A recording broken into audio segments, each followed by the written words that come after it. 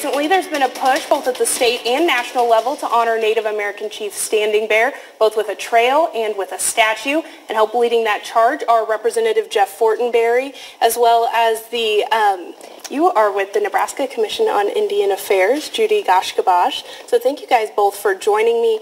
Um, Representative, my first question is for you. You know, why is it so important for you guys to honor Standing Bear? Standing Bear was a great chief, a great Native American, a great American, one of America's first civil rights leaders. I'd like to quote from him right quick.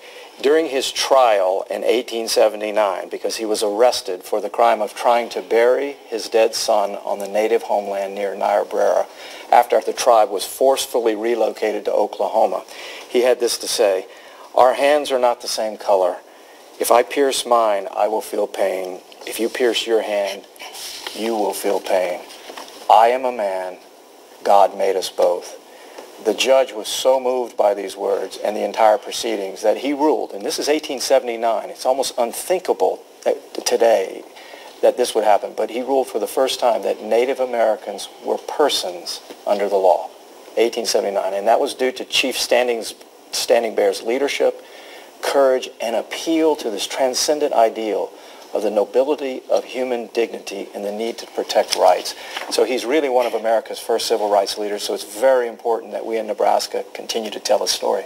That's excellent. And Judy, you know, why is it important for the Ponca people to honor Chief Standing Bear as well? Well, for Nebraska's first people, and uh, the Poncas being one of the tribes in our state, uh, Standing Bear was forcibly removed, but in throughout America there are many tribes that have trails of tears.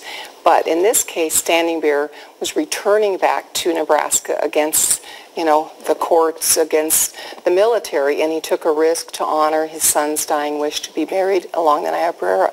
So as a result of this trial in Omaha, for the first time in all of America, for all tribes, we became recognized as persons. So I think that's something unique and that we got to come back home.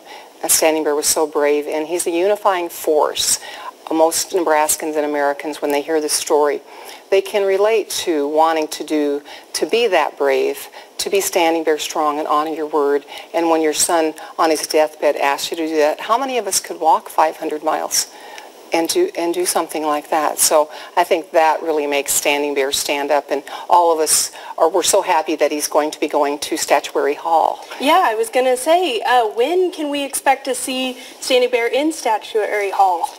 That you have to ask the speaker, speaker and maybe Congressman Fortenberry can speak to that. We actually just wrote Speaker Pelosi asking for permission to use Statuary Hall in a ceremony coming up. The state legislature has decided to honor Standing Bear and all of Nebraska by his presence in the United States Capitol with this statue, which will be placed sometime soon in the coming months.